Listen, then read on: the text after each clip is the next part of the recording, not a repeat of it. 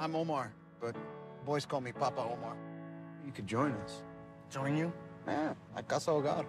I'm not no orphan. I just moved that floor.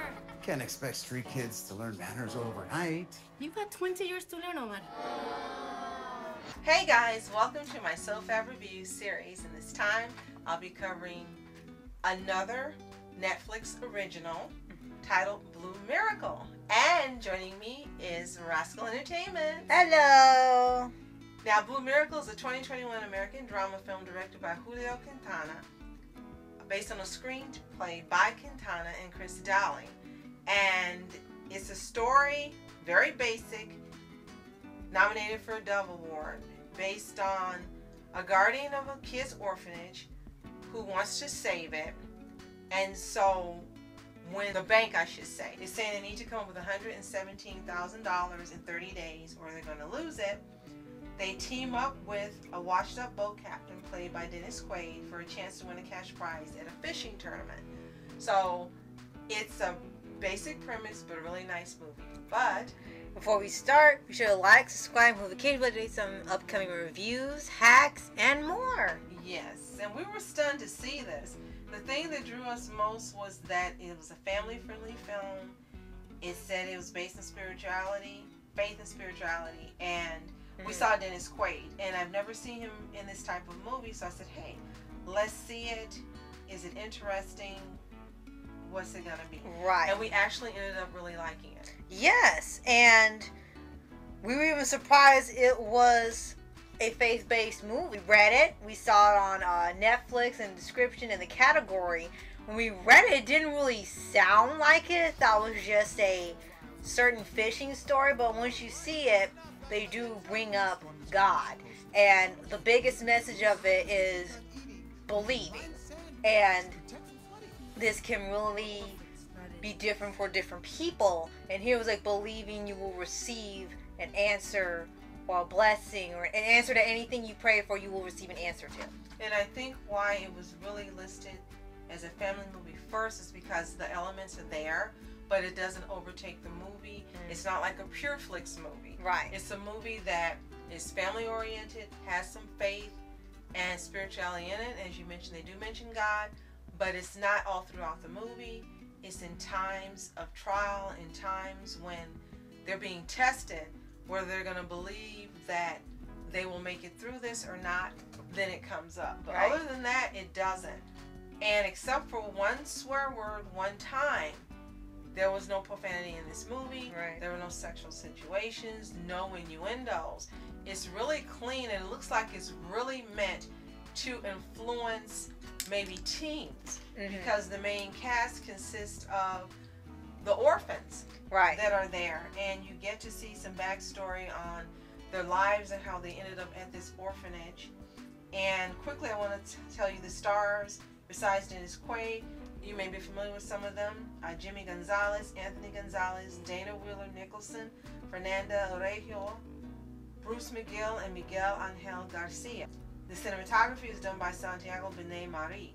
So it really is a Latin based movie. Right. But it's not just for a Latin audience. It's really meant to inspire everyone who watches it. Right. To give you some information on the team that appears in here. And we forgot to mention this is actually based on a true story. Yes. And at the end of the movie, they show you the team Mhm. that the movie was based on. Almost everyone who was cast almost looked just like the people they were portraying Right. And it's really just done really well. It's a short running time is 95 minutes, and the name of the orphanage is Casa Hogar in Cabo San Lucas. Mhm. So it's a real place that still exists and is still doing great work. And one of the great things about this movie is that in the end, you learn that the team that won this trophy or this competition became the first Mexican American team to ever win a fishing championship. Mm. Yeah. So that was pretty pretty nice to see right. and learn about because you you didn't hear about them. Right. And it was genuine. Very genuine and and you're right, it is weird you didn't hear about because for a time there was a huge push to put more Latinx representation and stories and figures you know about, but yet nobody talked about this. And this came out only a couple years ago. So it- 2021. you would think this would get mentioned long before Netflix had a film out, but go figure. And another thing that's also taught in here is, you know, not giving into temptation to do the wrong thing Mhm. to get to the end end point. And, And- if you've had experiences where you've made the wrong choice and now you have re- been redeemed Mhm. not to backslide and make the wrong choice. Right. Because there's a couple times in movies where the man is tempted to uh, Return to a life of crime. right and or cheat during the game or the fishing but you know, you know with the end of the movie that he sticks to what God says to do and what is the right thing and he's rewarded for not turning away from what's been planned for him I think the most disappointing part of this for me is that this movie wasn't promoted and the actors in here not only are Jimmy Gonzalez, Anthony Gonzalez, Mhm. and also of course Dennis Quaid, which he's known for, Mhm. but the kids who are in this movie are fantastic. yeah When you're watching it, it seems like you're just seeing something take place in real life, or for real life, as Bluey says. right And you're not watching a movie. It's that good. The acting is phenomenal. hmm And that this didn't get promoted and no one knows about it is so disappointing and unfortunate. Everyone in this movie that is a Dennis Quaid and already well known should be big actors by now. right Hollywood should have been knocking down their doors, even if it wasn't for faith based, but for family movies or movies that are in the same type of genre where all audiences can watch. These kids were phenomenal. yes The acting was just stellar. it didn't even feel like you were watching actors like you were seeing it just being filmed like it was live and you were watching them being filmed Absolutely. And this is one of those times when Netflix chose a project and made a right decision to stick with it being more of a, a movie that you would watch maybe decades ago. It has that feel. It's kind of like a nostalgic movie for Mhm. times when movies were made like this, uplifting dramas and clean family friendly and fact based. Mhm. And I really love that they stuck almost one to one to the facts of what happened, and Yeah. including, as I mentioned, uh, casting people that look like the actual people was based on. right Fantastic movie.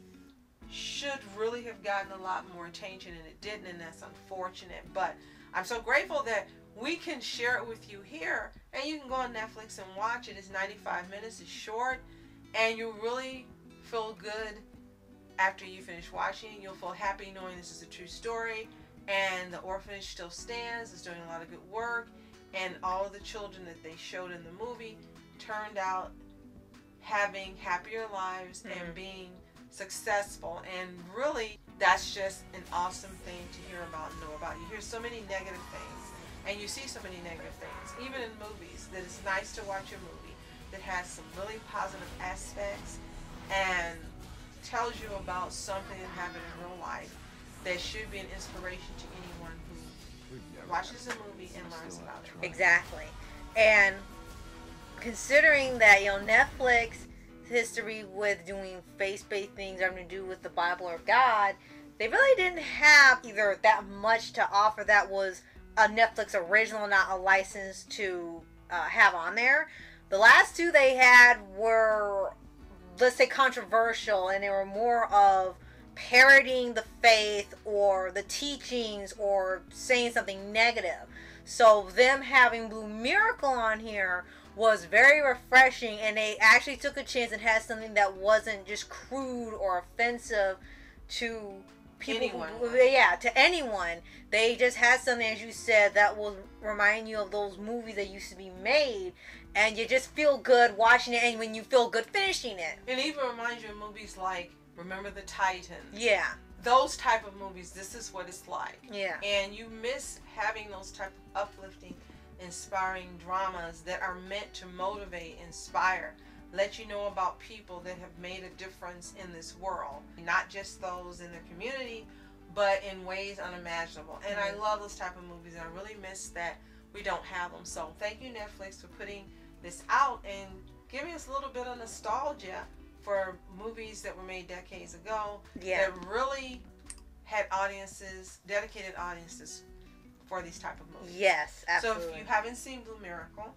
it's available exclusively on Netflix to watch. Mhm. And if you have seen it, let us know in the comments below. Did you just stumble upon it like we did, or did you already know about the people the film was made on? Right. And be sure to like, subscribe, and click notification bell Monday updates on upcoming reviews, um, manga reviews too, hacks, recipes, and all sorts of things. Yes, and thank you so much for joining us today, and thank you, Rascal, again for joining us. Yes. This is a shorter review, but she'll be back for some more manga and Netflix movie reviews. Yes. So, thank you for watching. I'm Julie. And I'm Rascal. And okay, Rascal Entertainment, duh. Have a toontastic day. Continue to stay happy, healthy, and whole. See you next time.